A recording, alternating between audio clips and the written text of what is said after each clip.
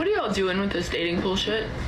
Now I'm finding myself terrified to date. I don't even know where to start. I don't know how to do it and do it in a healthy way. We're f***ing this all up. Fast forward, it's literally been years. Still alone. So I need y'all to like get it together. I would love to love men.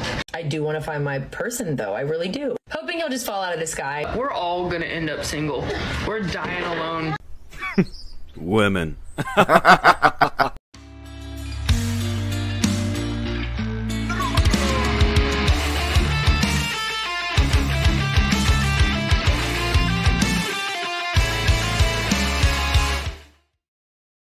Gentlemen, welcome back to another episode of Single Mothers who happen to really like being in relationships. Not enough to not break off their previous marriage, but you get the idea. So let's get started with this one and let's see what she has to say. What are you bringing to I this ain't no so-called waitress. I ain't table? bringing. Me for myself, I work a nine to five. I'm a single mother. I take care of my kid. I pay my own bills. But that's everything that you do for yourself. What are you bringing to the table as far as a relationship? You're an adult. Everything you listed is you just being a human adult. So I expect you to be independent. Just like I'm independent, Ace is independent, Jew is independent. We do everything for ourselves. Like a lot of women's personality trait is that I'm strong, independent, and don't need no don't man. wanna- Of course, that's not showing me anything that you could offer a long-term successful relationship. So if I rephrase the triggering statement of what are you bringing to the table in a more acceptable way, it would sound like this. So as a woman, what attributes do you possess that would improve our relationship and improve my life? What are you bringing to the table? And because a lot of women have been conditioned to believe that their worth and value is directly predicated on how much money she makes, how much she owns, what kind of degree she has, when you ask them this question, those are the type of responses that you get. And that's not what you bring to the table as a woman. It has taken me years to understand my value and the significance of my energy and aura as a woman. So now, if someone was to ever ask me that question, here is how I would answer. Yeah, I own a business and I own a home, but those are not my greatest assets. My greatest assets is that I understand sacrifice, hard work. I understand commitment. I understand financial literacy and the importance of building a legacy and starting generational wealth. My mindset mm-hmm. is what got me the things that I have. That's an asset. The world is hard enough, so I have really worked hard to be a positive energy in the world. That is what I bring to a relationship. When you are out fighting the world, I want you to enjoy coming home. I want to be your peace and your comfort. I want to be the person that speaks life into you. The world is tearing you down, but I'm here to build you back up.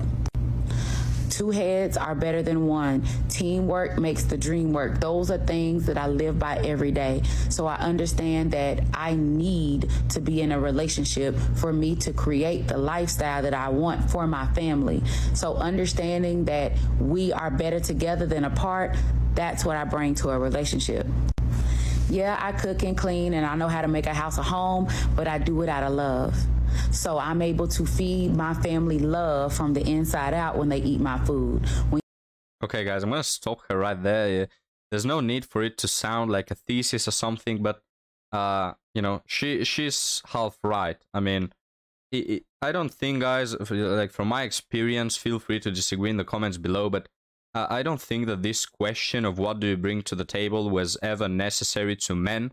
Uh, this is something that women uh, fantasize about and they like to think about what does this man bring to the table? You know how does this man improve my life?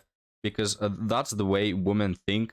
They like to think about improvement about different assets and abilities and whatever not. I- I- men usually don't think about that and that is the reason why you could have a, a multimillionaire guy uh, dating a, a cashier you know?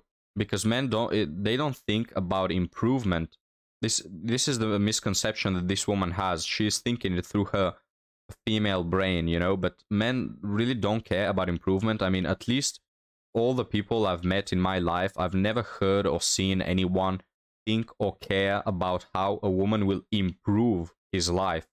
It's just about sharing. I mean you know feel again feel free to disagree guys but I think that men just want to share. They don't necessarily want to improve uh, financially or emotionally or psychologically, etc. It's not about pushing the limits.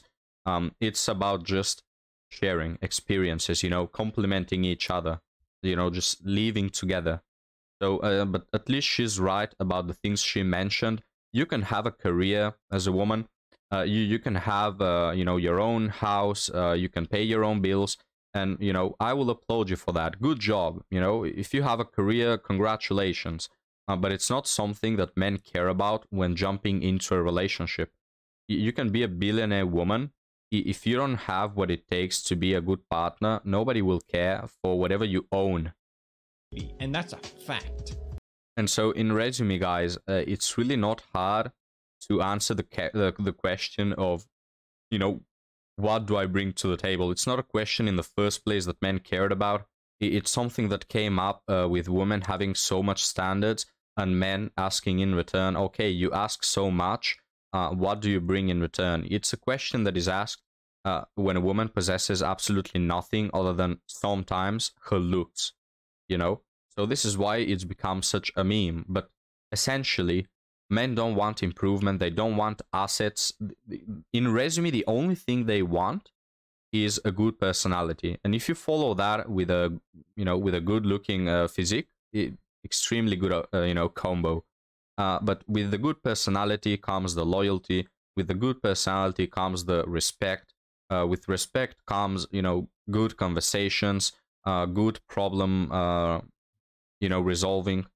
It, it's all linked to just being a good person, wanting to be a good girlfriend and wife. But let's end this TikTok, guys.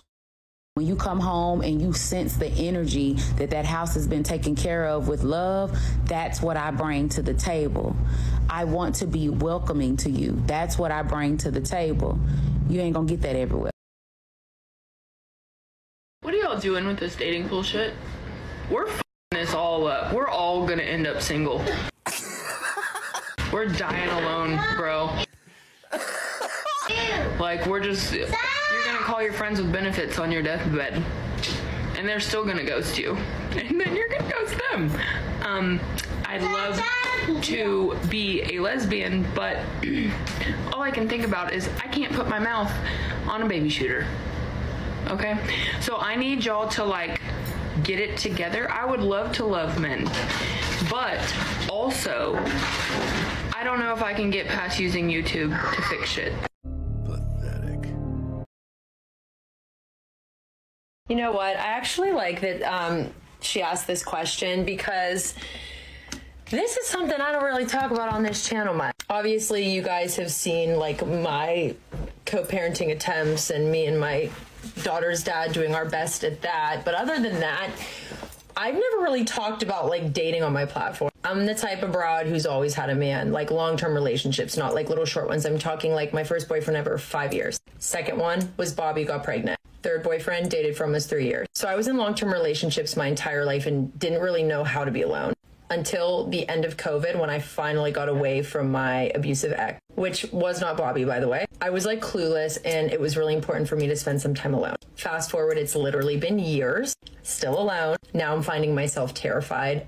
To date, I don't even know where to start. I don't know how to do it and do it in a healthy way. I'm flat out terrified. I do want to find my person, though. I really do. Hoping he'll just fall out of the sky. That is not going to happen. Kind of a short one.